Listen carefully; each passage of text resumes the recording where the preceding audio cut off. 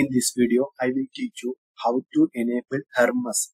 First, you have to understand what is Hermes. Hermes is a new JavaScript engine using in React Native project. So, in the old versions of React Native, Hermes was in experimental section. So, it is not enabled by default. But in the latest versions, Hermes is enabled by default. So, I am going to explain how to enable Hermes in the old versions of React Native. I have created a React Native project enabled Hermes and let us check what is the React Native version in this project. React Native is 0.69.5, React is 18.0.0. So, by default in this uh, React Native version, Hermes JavaScript engine is not enabled. So, in this video, I am explaining how we can enable Hermes engine. First, let us check app.js file. Here I have used global.hermes internal. This is an object which will return true or false depend upon whether the Hermes JavaScript engine is enabled or not in our project. If it is returned false, that means Hermes is not enabled. If it is returned true, that means Hermes is enabled. So what I did is in this app.js file, I have created a function is Hermes. It return negation negation global.hermes internal. That means it will return what is the value inside global.hermes internal. And I uh, write a console.log Hermes enabled and I'm calling that is Hermes function. So when we load the application on the emulator or any physical device, this app.js file will be executed and this console will be shown on this terminal. So first let me exit this project, clear the terminal and run the application npm start. At the same time, in the Android Studio, I have opened Android folder of enabled Hermes and the React Native Gradle plugin and the Gradle scripts are there. First, let me uh, sync a project with the Gradle files. Let us go to build terminal. Build is going on. Let us wait. Yes, build is successful in 11 seconds.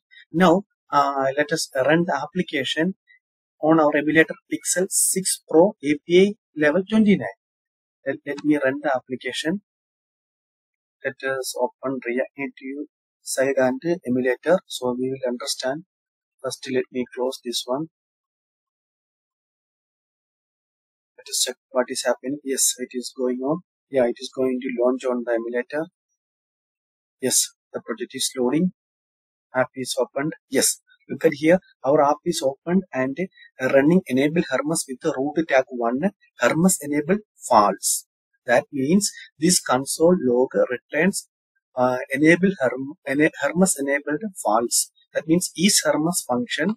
If you go to definition, this one is the definition. Const is Hermes is equal to uh, negation negation global dot Hermes internal. That means this global object with the Hermes internal key return false for this uh, project as of now. That means Hermes uh, JavaScript engine is not enabled in this uh, React Native version and in this uh, project. So uh, first let us go to uh, Android Studio in order to enable Hermes uh, JavaScript engine. Go to Gradle scripts, then build.gradle in the module app section. Open this build.gradle. Here we can see project.ext.react is equal to bracket open enable Hermes false. This is why uh, this is the reason we call this enable Hermes uh, false. So in order to enable Hermes in this project, I have to change this false to true. Then save the file. In the build.gradle module app, we have build.gradle in the project level, but we have to open in the uh, app level build.gradle. I make, I change it to true, so uh, it is commented there. If we change it, you have to do the clean and rebuild process. So let us go to build and clean project. Project cleaning is going on. Let me close this pop-up. Let us go to build terminal. Yes, it is going on. Yes, build is successful in 9 seconds. Now let us go to rebuild the project. Because after clean we have to rebuild if change. So rebuild the project.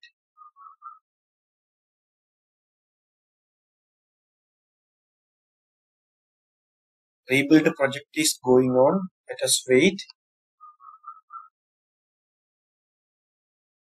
It's going on.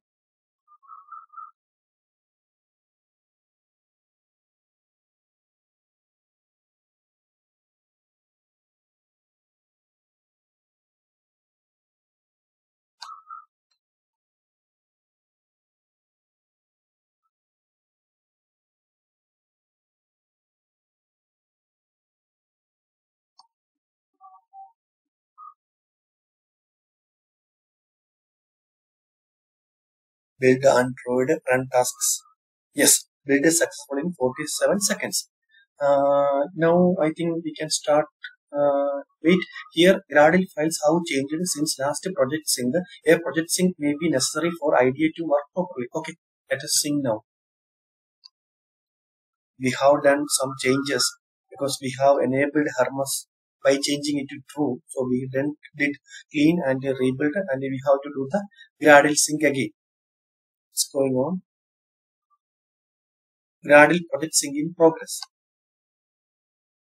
Yes, I think it is about to complete. Yes, build is successful in 22 seconds.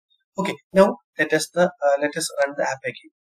Let us go to emulator and let us open our Android. Um, sorry, uh, React Native side in VS Code. Let me close this app, which is currently open. Us check Android Studio. Build Android Studio is going on. Okay, after build process if it is successful then it will launch the app on the emulator again. Yes launching app on pixel 6 pro a29 yes launch succeeded yes it is loading here. Uh, yeah. Look at here. Uh, yes you see here.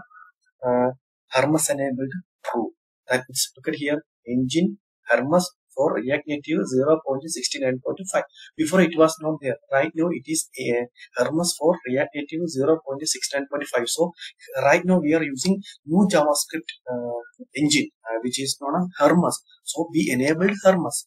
I will close the app again and I will open again. You see, uh, look at here in the terminal, VS Code terminal, project is loading and Hermes enabled true. So we uh, enabled Hermes JavaScript engine React Native project. Thank you.